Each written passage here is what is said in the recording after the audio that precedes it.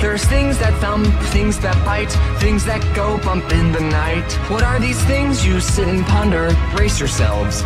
It's called furry, furry, furry, furry. But oh wait, where's its head? I don't see it anywhere. Ow! It's called furry, furry, furry, furry. It's on its chest. It's on its chest, like some kind of Pokemon. It's called furry.